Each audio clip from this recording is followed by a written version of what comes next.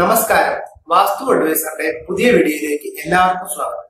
ഒത്തിരി ആളുകൾ വിളിച്ചു ചോദിക്കുന്ന ഒരു ചോദ്യമാണ് നിലവിലുള്ള വീടിന് വാസ്തുദോഷം ഉണ്ടോ എന്ന് എങ്ങനെയാണ് സ്വയം പരിശോധിക്കുന്നതെന്നും. അതുപോലെ തന്നെ പുതിയൊരു വീട് മേടിക്കാൻ പോവുകയാണ് അല്ലെങ്കിൽ വാടകയ്ക്ക് എടുക്കാൻ പോവുകയാണ്. ആ സമയത്ത് അതിന് വാസ്തുദോഷം ഉണ്ടോ എന്ന് എങ്ങനെയാണ് പരിശോധിക്കുന്നതെന്നും. ഗ്രഹദോഷ പരിഹാരം എന്ന് പറയുന്നത് ആ സ്ഥലം കണ്ട് മനസ്സിലാക്കി ചെയ്യേണ്ട കാര്യങ്ങളാണ്. പ്രധാനമായ ഒരു പതിനഞ്ച് കാര്യങ്ങളാണ് ഇതിലുള്ളത്. ഇത് എല്ലാം തന്നെ നിങ്ങൾക്ക് തനിയെ ചെയ്യാവുന്ന കാര്യങ്ങളല്ല. പക്ഷെ നിങ്ങൾക്ക് ചെയ്യാൻ പറ്റുന്ന കുറച്ച് കാര്യങ്ങളും അത് വളരെ ഇമ്പോർട്ടന്റ് ആയിട്ടുള്ള കാര്യങ്ങളാണ് ഈ വീഡിയോയിൽ ഉൾപ്പെടുത്തിയിട്ടുള്ളത്. ആദ്യമേ നോക്കേണ്ടത് ഭൂമിയുടെ ലക്ഷണമാണ്. നാല് മൂലകളുള്ള സമചതുരത്തിലോ അല്ലെങ്കിൽ ചതുരത്തിലോ ഉള്ള ഭൂമിയിലാണ് അല്ലെങ്കിൽ മുറ്റത്തിന്റെ അകത്താണ് വീടുള്ളത് എന്ന് ശ്രദ്ധിക്കുക. ഇങ്ങനെയല്ല എന്നുണ്ടെങ്കിൽ ഇങ്ങനെയാക്കാൻ പറ്റുന്നുണ്ടെന്നുണ്ടെങ്കിൽ അത് നമുക്ക് ഉത്തമമായിട്ട് എടുക്കാൻ സാധിക്കും. അതുപോലെ തന്നെ ഭൂമിയുടെ ചായവ് കിഴക്കോട്ടോ വടക്കോട്ടോ വടക്ക് കിഴക്കോട്ടോ ചായവുള്ള ഭൂമി നല്ലതാണ്. ഒരു കുപ്പി വെള്ളം ഒഴിച്ചു കഴിഞ്ഞാൽ ആ വെള്ളം പോകേണ്ടത് ഒന്നിനെ കിഴക്കോട്ടായിരിക്കും അല്ലെങ്കിൽ വടക്കോട്ടായിരിക്കും അല്ലെങ്കിൽ വടക്കിഴക്കോട്ടായിരിക്കും രണ്ടാമത് വീടിന്റെ ദർശനമാണ് നമ്മൾ നോക്കേണ്ടത്. ഒരു മാഗ്നറ്റിക് കോമ്പസ് ഉപയോഗിച്ചോ അല്ലെങ്കിൽ ഒരു കാലിബ്രേറ്റ് ചെയ്തിട്ടുള്ള ഒരു മൊബൈൽ കോമ്പസ് ഉപയോഗിച്ചോ നമുക്ക് ദർശനം കണ്ടുപിടിക്കാവുന്നതാണ്. വീടിന്റെ മുൻവശത്ത് നമ്മൾ മൊബൈൽ കോമ്പസ് വെക്കുമ്പോൾ നമ്മുടെ നേരെ തിരിയുന്നതാണ് അതിന്റെ ദർശനം. അത് നാല് മഹാദിക്കയിൽ ഏതിന് വേണമെങ്കിലും ആകാം. കിഴക്കോ തെക്കോ പടിഞ്ഞാറോ വടക്കോ ഈ നാല് ഭാഗത്തിൽ ഏതിൽ വേണമെങ്കിലും ദർശനമായിട്ട് നമുക്ക് വീട് നിർമ്മിക്കാം. അതല്ലാതെ വിധിക്കിലേക്ക് അതായത് തെക്ക് കിഴക്കായിട്ടോ തെക്ക് പടിഞ്ഞാറായിട്ടോ അല്ലെ വടക്ക് കിഴക്കോ വടക്ക് പടിഞ്ഞാറോ ആയിട്ട് വരുന്ന രീതിയിൽ നമുക്ക് എടുക്കാൻ പാടില്ല. മൊബൈൽ കോമ്പസ് ഉപയോഗിക്കുമ്പോൾ പൂജ്യം തൊണ്ണൂറ് നൂറ്റി എൺപത് ഇരുന്നൂറ്റി എഴുപത് മുന്നൂറ്റി അറുപത് എന്നീ ഡിഗ്രിയിലാണ് വരുന്നതെങ്കിൽ അത് കൃത്യമായ മഹാദിക്കിനനുസരിച്ചിട്ടുള്ള ഒരു വീടാണ് എന്ന് നമുക്ക് മനസ്സിലാക്കാം. മാക്സിമം മഹാദിക്ക് നിന്ന് പതിനഞ്ച് ഡിഗ്രി വരെ നമുക്ക് ആക്സെപ്റ്റബിൾ ആണ്. എന്ന് വെച്ച് കഴിഞ്ഞാൽ മുന്നൂറ്റി നാൽപ്പത്തി അഞ്ചിനും പതിനഞ്ച് ഡിഗ്രിക്കും ഇടയിലാണ് നമുക്ക് അളവ് കിട്ടുന്നതെങ്കിൽ. അതുപോലെ തന്നെ എഴുപത്തഞ്ച് ഡിഗ്രിക്കും നൂറ്റിയഞ്ച് ഡിഗ്രിക്കും ഇടയിലാണ് എന്ന് പറഞ്ഞു കഴിഞ്ഞാൽ. നൂറ്റി അറുപത്തഞ്ച് ഡിഗ്രിക്കും നൂറ്റി തൊണ്ണൂറ്റഞ്ച് ഡിഗ്രിക്കും ഇടയിലാണ് എന്ന് പറഞ്ഞാൽ.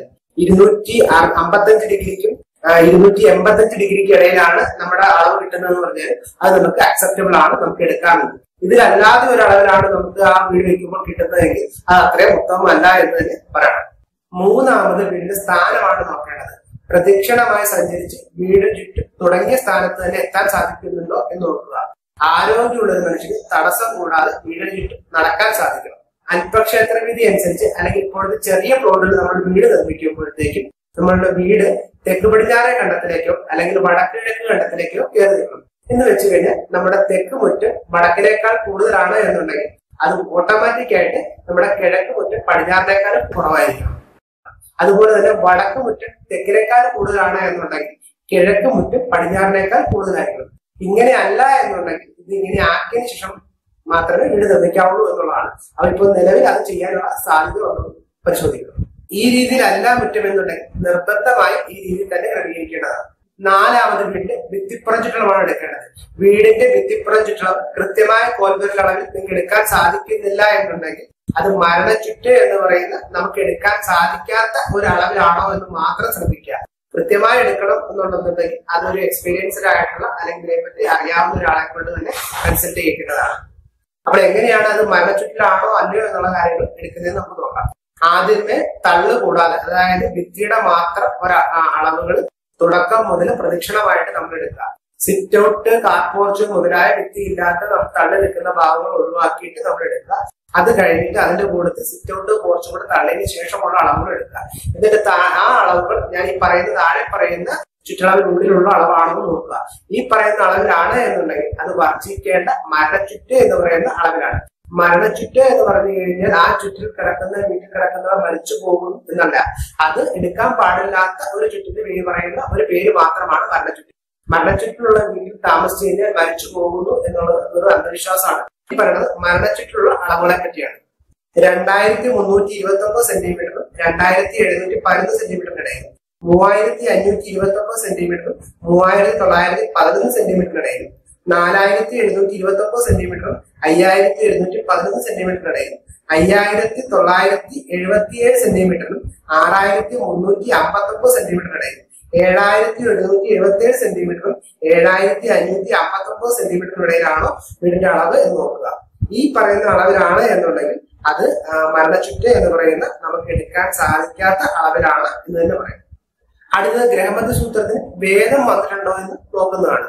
അപ്പൊ കിഴക്ക് ദർശനമായിട്ടുള്ള വീട് അല്ലെങ്കിൽ പടിഞ്ഞാറ് മുൻകാഴ്ചയായിട്ടുള്ള വീടാണ്.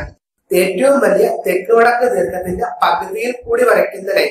എന്ന് വെച്ച് കഴിഞ്ഞാൽ ആ കിഴക്ക് പടിഞ്ഞാറ് വരയ്ക്കുന്ന ലൈനിൽ ജനലുകളോ വാതിലുകളോ നേരത്തെ വരുന്ന രീതിയിൽ ക്രമീകരിക്കണം എന്നാണ് പറയുന്നത്. ഇപ്പൊ അതേപോലെ തന്നെ ഇപ്പൊ തെക്ക് മുൻകാഴ്ചയുള്ള ഒരു വീട് അല്ലെങ്കിൽ വടക്ക് ദർശനമായിട്ടുള്ള ഒരു വീടാണ് എന്ന് വിചാരിക്കുക. അപ്പൊ അങ്ങനെയുള്ള വീടിന്റെ ഏറ്റവും വലിയ കിഴക്ക് പടിഞ്ഞാറ് ദീർഘത്തിന്റെ പകുതിയിൽ കൂടി വടക്ക് തെക്കായിട്ട് വരയ്ക്കുന്ന ആ ഒരു ലൈനെയാണ് നമ്മൾ ഗൃഹമധ്യ സൂത്രം എന്ന് പറയുന്നത്. അപ്പൊ ആ ഒരു ലൈനിൽ ജനലുകളോ വാതിലുകളോ നിർബന്ധമായി നിരന്തര വന്നിരിക്കണം അതായത് വീടിന്റെ വാതിൽ ഫ്രണ്ടിൽ നിന്ന് വായു കയറി അത് വെളിയിലേക്ക് അതേ ലൈനിൽ കൂടെ തന്നെ പോകത്തക്ക രീതിയിലുള്ള ഒരു ക്രമീകരണം നമ്മുടെ ജനലുകളോ വാതിലുകളോ നിർബന്ധമായിട്ട് ചെയ്തിരിക്കണം അതിനിടയിൽ ഒരു ഭിത്തി വന്ന് ആ അതിലൊരു ഭേദം വരാൻ സമ്മതിക്കരുത്. അടുത്തത് മുറുകളുടെ സ്ഥാനമാണ്. മുറുകളുടെ സ്ഥലങ്ങളിൽ ഏറ്റവും പ്രധാനപ്പെട്ടത് അടുക്കളയാണ്. അടുക്കള കിഴക്കേ വിങ്ങിൽ അല്ലെങ്കിൽ വടക്കേ വിങ്ങിൽ കിഴക്കോട്ട് അഭിമുഖമായിട്ടോ അല്ലെങ്കിൽ വടക്കോട്ട് അഭിമുഖമായിട്ട് പാചകം ചെയ്യുന്ന രീതിയിൽ ക്രമീകരിക്കും. അടുത്ത ബെഡ്റൂം പ്രധാന കിടപ്പുമുറി തെക്കേ വിങ്ങിലോ അല്ലെങ്കിൽ പടിഞ്ഞാറേ വിങ്ങിലോ അതിൽ തന്നെ തെക്ക് പടിഞ്ഞാറായ കന്നിമുറിയിലാണ് ഏറ്റവും നല്ലത്. തല വെച്ച് കിടക്കേണ്ടത് ഒന്നില്ലെങ്കിൽ കിഴക്കോട്ട് തല വെച്ച് കിടക്കുന്ന രീതിയിൽ ക്രമീകരിക്കാം. അല്ലെങ്കിൽ തെക്കോട്ട് തല വെച്ച് കിടക്കുന്ന രീതിയിൽ ക്രമീകരിക്കാം. അടുത്ത ടോയ്ലറ്റ് ഗൃഹമധ്യസൂത്രം പോകുന്ന ആ ലൈനിൽ വടക്ക് കിഴക്ക് തെക്ക് പടിഞ്ഞാറൻ മൂലയിലേക്ക് വരയ്ക്കുന്ന ആ കർമ്മസൂത്രം പോകുന്ന ആ ലൈന് നിർബന്ധമായി ടോയ്ലറ്റ് ഒഴിവാക്കുക. ടോയ്ലറ്റിന്റെ സീറ്റ് തെക്ക് വടക്ക് വെക്കുന്നതാണ് നല്ലത്.